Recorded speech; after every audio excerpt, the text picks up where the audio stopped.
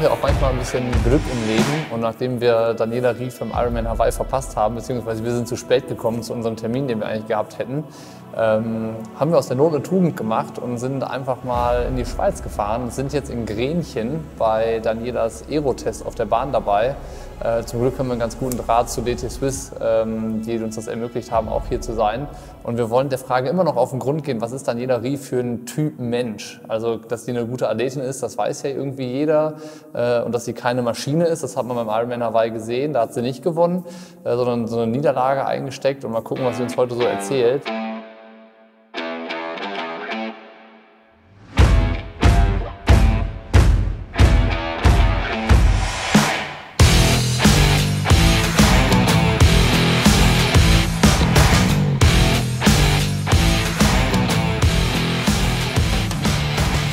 Aufregend war das für dich am Anfang, äh, so, so eine Athletin wie Daniela zu betreuen? Oder äh, es hat ja, wie du sagst, das was mit Vertrauen zu tun und äh, das muss man sich ja erarbeiten.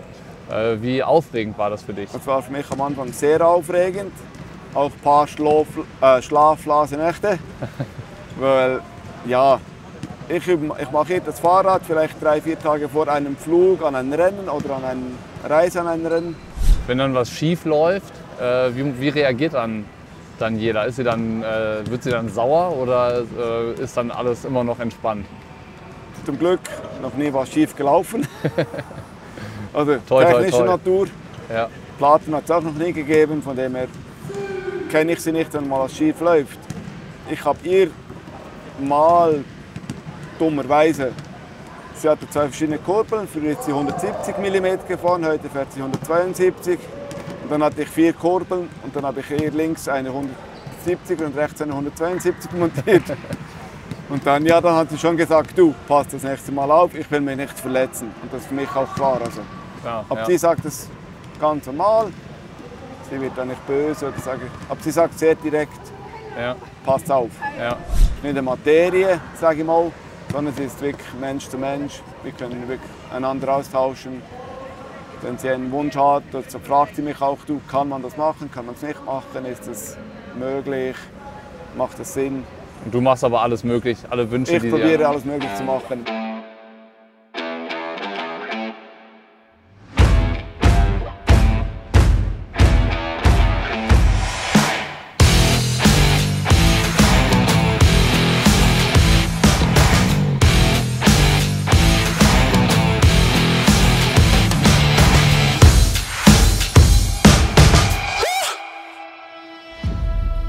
Quite honest with you, Ironman is a very different sport. So if you're going to have a bad day, the course beats you. Daniela Riff has proven year upon year that she's an outstanding athlete. Now, in my opinion, she's the greatest Ironman triathlete there has been. What is the, the story behind the bird? Well, she's an angry bird, you know, like the birds. She she has But, so but many. she seems so lovely when, yeah, when she's, around complicated. and- You know, that's what makes her such a, a great athlete. She's complicated. Um, some days she has that look. She had it today, actually. And everybody said, oh, here's the angry birds turned up. Other days she's happy. Ich hatte mir eigentlich überlegt, eine Flasche Wein mitzubringen, weil wir hatten uns äh, letztes Jahr auf Hawaii schon mal getroffen. Da hast du äh, gesagt, du trinkst irgendwie vor dem Rennen oder nach dem Rennen ganz gerne mal ein Glas Rotwein. So als Entschuldigung, weil wir dieses Jahr auf Hawaii ja zu spät gekommen sind. Da hatten wir eigentlich auch einen Termin. Ähm, das ist ja in der Rennwoche immer alles so ein bisschen stressig. Und passend dazu hatten wir im August deinen Trainer getroffen, Brett Sutton. Ähm, da hatte ich gefragt, so, warum er Angry Bird zu dir sagt, also warum das dein Name ist. Und er meinte, ähm, she's complicated. So, und ähm, He's complicated too. Wie, wie ist deine Stimmung heute, so sechs, sieben Wochen nach, nach dem Ironman Hawaii? Ähm, ja, meine Stimmung ist eigentlich recht gut. Äh, für mich, ähm, wenn ich so, ja, ich hatte jetzt wirklich eine tolle Saisonpause. Ähm, ich hatte ein paar tolle Weekend-Trips mit Kolleginnen und auch ein bisschen mal abgeschaltet. Es war, war eigentlich ähnlich wie immer. Ähm, klar, so der Abschluss jetzt in Hawaii war jetzt nicht optimal, aber ähm, ich habe da mal von, von einer Woche haben wir einen Rückblick gemacht ähm, über die Saison und da ist mir auch so ein bisschen bewusst geworden, ja, ich hatte acht Rennen, sieben gewonnen, einen WM-Titel, also die Saison war nicht schlecht. ähm, klar, man orientiert sich natürlich an der, ähm, an, in, an der WM in Hawaii, also Von dem her, ähm, ja, also ich, ich, bin jetzt nicht, ich bin jetzt nicht total am Boden zerstört, dass es da mal nicht geklappt hat. Ich glaube, es ist immer gut zu wissen, also der Grund zu wissen. Und bei mir war es wirklich klar, ich hatte da ein, ja, im Magen was war, war nicht gut und das gehört dazu, dass man eben, ja, man, jeder Athlet ist nur ein Mensch und ähm, der Körper, den kann man schon sehr fokussiert auf irgendwas hin trainieren, aber wenn dann halt dann mal die Gesundheit nicht stimmt, dann äh, ja, äh, kann man noch so fit sein. Also von dem her äh, alles gut. Äh, Im Moment ist der Fokus eigentlich schon wieder auf 2020, also das, die Saison ist für mich abgehakt und ähm, sozusagen es war eine gute Saison. Ähm, klar, Hawaii hat nicht geklappt, aber das glaube äh, auch ein bisschen, da bleibt auch ein bisschen noch Hunger für nächstes Jahr wieder. Ja. Das ist so, wie wichtig ist eine Niederlage, um, um auch Champion zu sein? Oder wenn du Champion bist, wie wichtig ist es auch, Rennen zu verlieren oder nicht zu gewinnen? Ja, für mich ist, also Niederlagen haben mich immer motiviert. Ich hatte äh, gewisse Rennen, wo, wo es mir nicht lief, äh, in Gran Canaria, in 73, wo ich, wo, ich gar nichts, äh, wo ich gar nichts konnte, da war ich einfach nur müde. Ähm, ich hatte Monluba 73 an der WM, wo ich ähm, ja, auch einen schlechten Tag hatte, wo ich dort den Grund gar nicht wusste, wieso es nicht lief. Und bei mir war es immer so, dass ich dann nach diesen Rennen schon jetzt nicht Paniktraining ähm, begonnen habe, aber es hat mich immer wieder motiviert, sozusagen zu analysieren, ja, was war der Grund und, und dann eben, dass es das nächste Mal ist, besser zu machen. Mhm. Ähm, wenn ich jetzt zurückblicke nach Hawaii, also so viel, ja, so viel besser kann ich es eigentlich nicht machen in der Vorbereitung. Ähm, es, das Einzige, ich sag mal, ähm, ja, ich wurde knapp nach der Pre also Pressekonferenz also krank und da vielleicht mal ein Desinfektionsmittel äh, für die Hände mehr mitnehmen und da ein bisschen vorsichtiger sein, wäre das, wäre das Einzige, das ich mir überlegen könnte, wie man da noch ein bisschen mehr vorbeugen kann, eben krank zu werden. Aber das ist dann auch schon alles. Also ähm, es gehört dazu, ähm, man kann nie 100 Prozent ähm, ja, sicher sein, dass alles klappen wird und das ist auch das Spannende daran, also dass, dass man es auch, auch jedes Mal wieder so die Möglichkeit hat, eben auf dem Tag X das wirklich das Beste herauszuholen. Und ja, es ist nicht einfach, das zu, zu schaffen. Und ich hatte es jetzt, sagen wir mal, die letzten vier Mal hat es sehr, ziemlich gut geklappt. Es war ja nie ein, ich hatte nie ein, oder fast nie ein perfektes Rennen. Es hatte immer irgendwelche kleine Probleme, aber die konnte ich da wie überdecken. Und, und gewisse Probleme, die kannst du halt dann einfach mal nicht, ähm, da kannst du den Körper nicht ja, über, überlisten und, ja. und äh, das gehört zum Sport du wusstest also vor dem Rennen schon, dass es irgendwie, du, dir geht es nicht optimal, du hast schon gemerkt, es stimmt irgendwas nicht, wusstest mit dem Magen das auch, aber hast das Rennen trotzdem so durchgestanden. Mhm. Ähm, kannst du dich noch daran erinnern oder kannst du uns sagen, woran du in so einem Rennen dann gedacht hast? Ähm, ja, so ein Rennen, wenn du, also ich war ja, ich ging ja nicht an den Start und dachte, ja, ich bin jetzt halb krank, es wird wohl nichts heute. Also das wär, da müsste ich ja nicht starten. Also ähm, ich hatte am Dienstag Nachmittag eben wirklich ganz komischen Magen. Mittwoch, Donnerstag war mir kotzeübel und Freitag so ging es so einigermaßen. Ich konnte ja essen und daher wusste ich, wenn ich Energie zu mir nehme, kann alles noch gut sein. Und, und ähm, ja, man, es ist wichtig, dass man eben auch positiv bleibt, weil das Rennen ist also zu, aus meiner Sicht zu 90 Prozent auch dann Kopfsache, ob, ob man die Leistung abrufen kann. Und ähm, ja, ich, ich, ging ins Rennen mit eigentlich sehr positiver Einstellung. Die ersten drei Kilometer liefen mir auch sehr gut. Ähm, und irgendwann kam dann irgendwie diese Schwelle, wo, man, wo es ein bisschen schneller wurde. Und da hat es mir dann einfach richtig so eins ins, in den Bauch ge, gezogen. Und das, da wurde mir so übel, dass ich dann wie, ja, wie der Stecker gezogen wurde. Und von da an ähm, lief dann nicht mehr viel. Also ähm, ja, das, die, ich glaube, die so, wenn ich, wenn, ich wurde ein paar Mal gefragt, ja, war das für dich eine Niederlage oder wie hast du es mental verkraftet? Äh, für mich war das Rennen selber das Schwierigste und nicht das danach. Also, dass die Momente überholt zu werden auf dem Rad und einfach ja, keine Chance zu haben und eigentlich die Konkurrenz davonziehen zu lassen. Was hast du dann gemacht? Also du sagst, es war hart und schwierig, aber ähm, wie bist du in einem Rennen damit umgegangen? Ja, versuchen es so wie zu akzeptieren, dass es jetzt halt vielleicht nicht geht, aber trotzdem, man, so, man will es ja nicht akzeptieren, weil ähm, ich wollte sie auch nicht aufgeben. Also das, ich habe dann immer noch irgendwie die Hoffnung, ja, man weiß nie, es kann ja wieder kommen und dann wird man wieder überholt. Und da ist es schon natürlich ein Kampf zwischen ähm, ja, positiv und negativem Denken und, und da einfach versuchen, sein Ding zu machen, auch wenn ja, auch wenn, es, wenn man weiß, man ist total unter seiner Leistungsfähigkeit und man kann die, die, die Leistung, die man normalerweise zeigen kann, nicht abrufen, das, ist für, das war für mich die Niederlage. Also nicht unbedingt, dass ich gesehen habe, hey, heute wird es extrem schwierig mit dem Sieg, sondern dass ich nicht annähernd an meine Leistung herankommen konnte. Und das war für mich das Schwierigste. Also mental, also ich sag mal, das Rennen hat wehgetan am Schluss in den Beinen, aber mental so diese langen vier Stunden 50 oder wie auch immer oder noch länger, ähm, die waren mental, haben, die haben mental sehr wehgetan, weil es einfach ja, nicht, nicht ging und ich eigentlich ja wollte. Und, ähm, aber der Körper einfach nichts konnte. Und, und äh, ich glaube, ja, da ist es schon, also für, für, mich war immer Natascha Barmann auch ein Vorbild. Sie hat ja auch ähm, mir, also ich, ich konnte mir da ein bisschen ein Stück abstellen von ihrer Einstellung im Sinne von, sie hat ja früher immer alle Rennen gewonnen und irgendwann hat sie dann halt mal die Rennen vielleicht mal nicht gewonnen. Und mich hat es immer beeindruckt, wie sie trotzdem immer noch den Spaß daran hatte. Und dass es einem zeigt, dass es nicht darauf ankommt, eben immer nur als zu gewinnen, sondern einfach Freude zu haben an dem man tut. Klar, wenn man mit ja, Übelkeit auf dem Rad sitzt, hat man, keine, also ich hatte keine Freude, aber ähm, der, also der Grundsatz, ähm, dass, dass, eben, dass es nicht nur ums Gewinnen geht, sondern eben zum, ja, die Leistung abzurufen. Und äh, das konnte ich klar in Hawaii nicht und deshalb war es natürlich auch für mich sehr enttäuschend.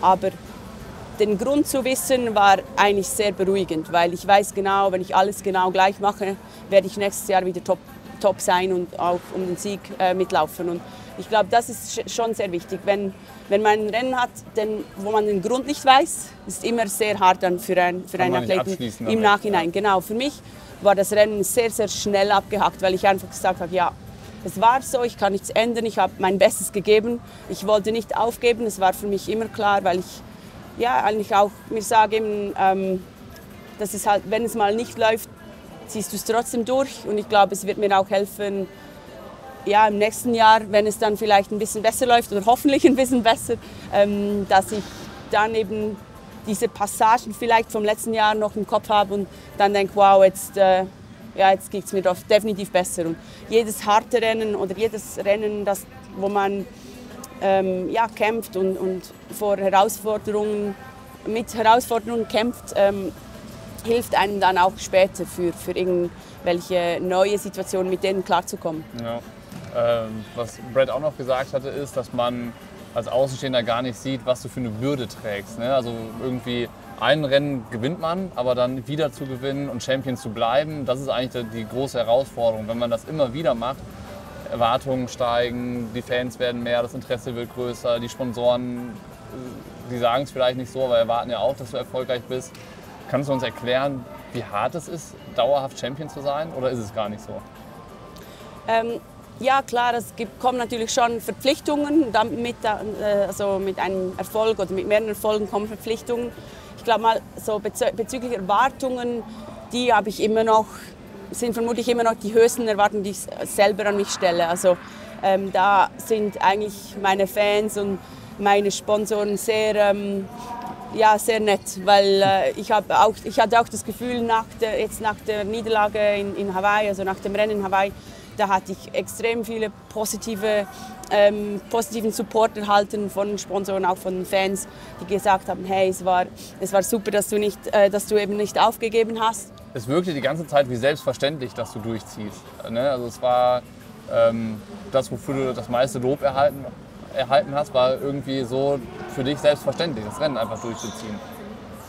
Ja, ich glaube, eben, man muss auch eben mit Situationen, die die einmal nicht gut laufen, dann nicht, also es gibt ja keinen Grund, wieso man dann nicht fertig machen soll, weil es ist ähm, ein Tag und da wird es gemessen. Und es, ich meine, wenn es ein Vorbereitungsrennen ist im April, ja, dann hätte ich vielleicht abgebrochen, weil dann bringt es auch nicht mehr viel, wenn man einfach da irgendwie hingurkt. Aber ähm, ist die WM und man, jeder Athlet geht dahin und ich finde, dass ja, das Rennen hat den, auch den Respekt verdient, eben dass, dass, dass man es ja, wertschätzt. Und, und deshalb war es mir wichtig, wenn es irgendwie geht, dass ich das, ja, was ich anfange, möchte ich beenden. Das ist eigentlich immer so. Und ich glaube, es ist auch mental viel einfacher, wenn man mit der Einstellung in ein Rennen geht, aufgeben ist keine Option, weil dann hat man, verschwendet man gar keine Energie mit, äh, mit Überlegen, soll ich jetzt aufgeben oder nicht, sondern man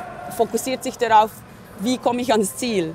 Und dieser Unterschied hatte ich im, ja, im 2018, wo ich mit dem Qualenbiss zu kämpfen hatte. Da habe ich lange überlegt, ja, soll ich aufgeben oder kann ich noch fertig machen? Und irgendwann habe ich realisiert, nein, aufgeben ist keine Option. Und ab dann lief es mir auch einfacher, weil ich dann einfach wusste, ja, wie schneller ich bin, desto schneller ist die Qual vorbei. Mhm. Und ähm, das ist dann schon wieder an sich eine Motivation, eben auch wenn es nicht läuft, einfach irgendwie Gas zu geben und dann auch eben man mit, ja, mit der Erfahrung jetzt vom 2018, vom, wo ich das Rennen am Schluss noch gewinnen konnte, ähm, das hat mir auch gezeigt, dass es eben nie vorbei ist. Also ich hatte jetzt in diesem Jahr, im 2019, hatte ich, wo ich so nach fünf Kilometern auf der Laufstrecke war, ich war erstaunt, wie wenig Rückstand ich hatte. Ich, ich dachte, ich wäre viel weiter zurück. Mhm. Und so für so ein paar Kilometer hatte ich sogar mal noch ein bisschen gute Beine und auch vom Energielevel einigermaßen so ein bisschen high. Und ich glaube, es lag auch daran, dass die Fans da am Ali Drive wirklich mich total gepusht haben. Und ja, da hatte ich für ein paar Minuten echt das Gefühl, dass ich da Lucy noch einholen konnte. Mhm. Und irgendwie so diese Momente, auch wenn es nur kleine sind, das sind immer wieder, das, das Rennen kann immer wieder drehen. Und vielleicht, wenn ich jetzt da ein bisschen gesünder gewesen wäre, hätte es vielleicht noch anders herauskommen können. Aber es war dann ziemlich schnell klar, dass, ähm, ja, dass, der, äh, ähm, ja, dass, dass der Stöpsel dann irgendwann trotzdem draußen war und, und, äh, wie sagt man, die Energie dann halt ja. doch nicht da, weil, weil ich ähm, wirklich sehr am unteren Limit da gekämpft habe. Aber das zeigt eben, es, es ist wichtig, wie, ja, dass es das Rennen nicht zu Ende ist, auch wenn es nicht läuft. Ja. Du hast gesagt, also so wenn du darüber erzählst, das wirkt so relativ cool und abgebrüht so ein bisschen. Ne? Also die, die, das ist jetzt auch sieben Wochen her. Du hast das irgendwie auch so äh, abgehakt, hast du gesagt. Aber ich glaube trotzdem, dass es so ein bisschen schmerzt, so eine Niederlage. Und dass sie, äh, sagst du jetzt nach dem Rennen, du machst jetzt einfach so immer weiter wie die vergangenen Jahre auch? Oder hat das irgendwie auch einen Denkprozess äh, dann mit sich gebracht, dass du gesagt hast, ich möchte jetzt in Zukunft irgendwie nochmal einen Fokus auf die Details legen? Ich möchte die Saison anders angehen? Oder bleibst du irgendwie dabei, wie die anderen Jahre auch gelaufen sind?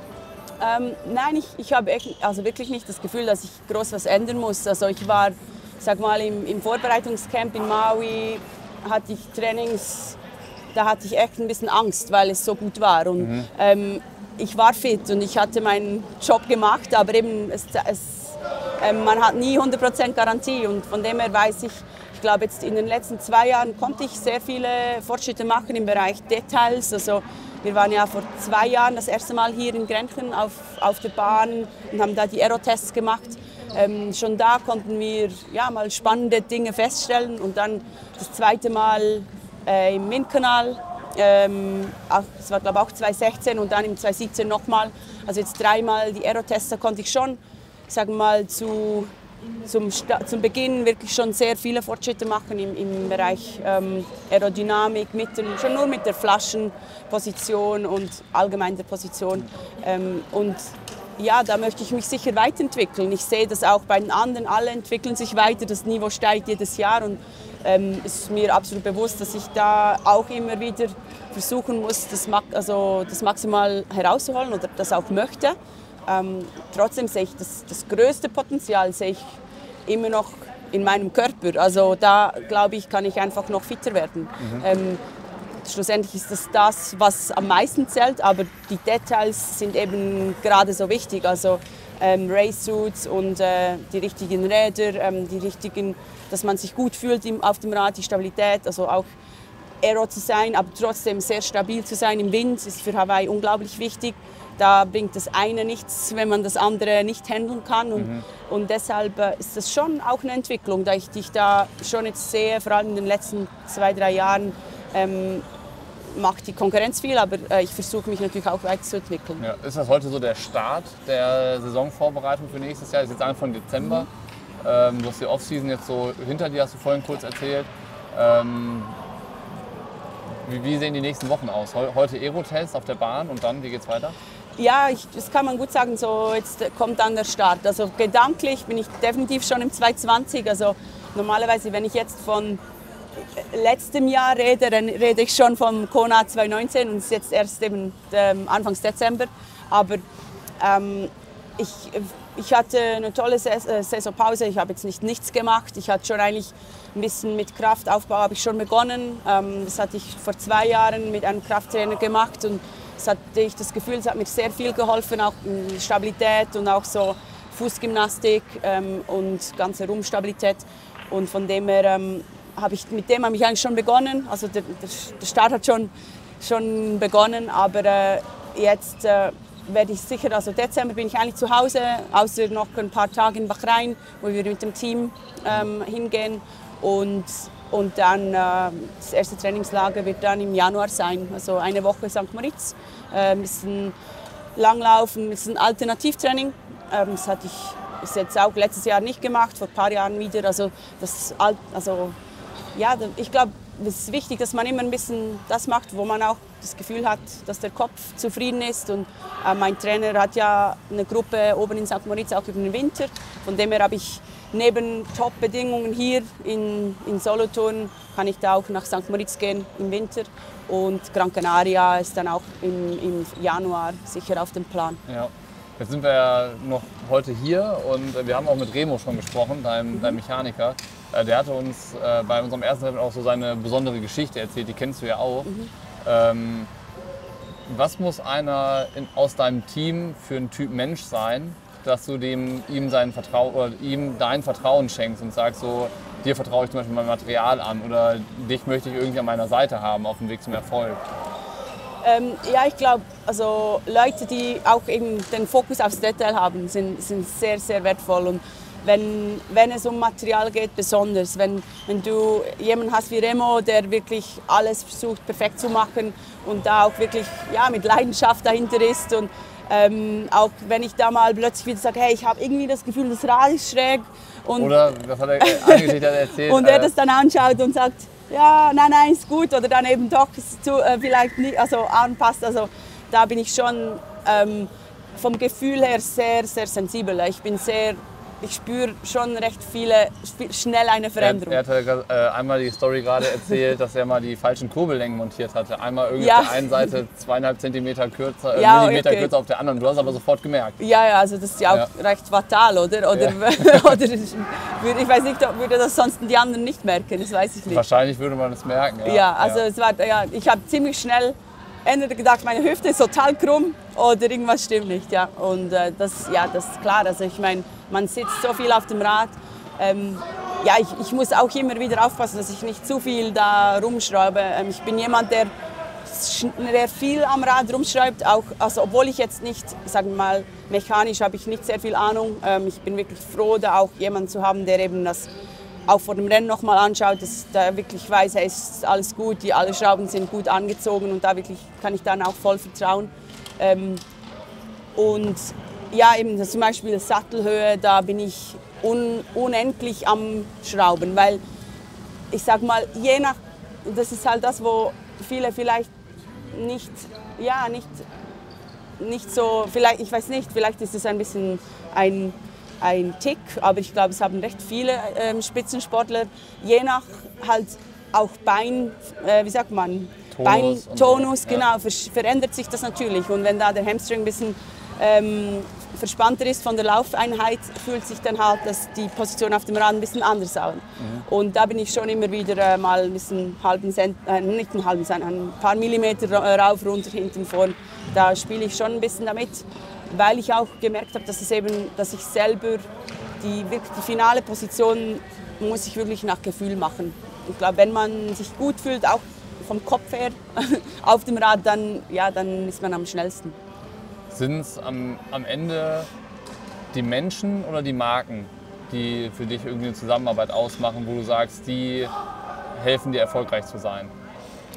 Ja, es ist eine gute Frage. Also eigentlich sind die Menschen hinter, hinter der Marke ja, die, die die Marke auch lebhaft machen. Also ähm, schon, ich habe schon das Glück, ähm, dass ich jetzt zum Beispiel auch mit Feld, ähm, die auch sehr familiär sind, aber auch mit DT Swiss, ähm, mit Swisside, wo ich ja, eine, eine, gute, eine gute Kontakte habe äh, und da wirklich mich auch so wohlfühle. Und ich, das ist schon sehr wichtig, also dass man einerseits ja, das schnelles Material hat, aber das schnelle Material kommt ja auch von guten Leuten hinter der Marke und daher ist das schon sehr eins. Also ähm, stolz zu sein für eine Marke ist das eine, aber natürlich also für eine Marke zu fahren, ähm, aber auch ja, die, Leute, die dahinter stehen, die machen die Marke eben auch lebhaft mit dem Athleten. Also ich sehe es schon sehr als Team und ähm, ich fühle mich da schon ja, sehr gut ähm, unterstützt und es ist auch sehr wertvoll, dass man eben so nah zusammenarbeiten kann. Und jetzt sowieso ich, wo ähm, ja, Viertelstunde von DT Swiss ähm, entfernt wohne, ähm, zehn Minuten von hier, äh, ist es natürlich genial, dass wir da so nah auch zusammenarbeiten können, eben schon im Dezember. Ja, wir sind gespannt, dir jetzt noch ein bisschen über die Schulter zu schauen beim Aerotest äh, und dir mal irgendwie abseits der Rennstrecke bei der Arbeit zuzusehen. Äh, ich glaube, geht jetzt auch gleich los. Und erstmal vielen Dank für die Zeit und Ja, für das danke. Gespräch, das wir nachgeholt haben. Danke.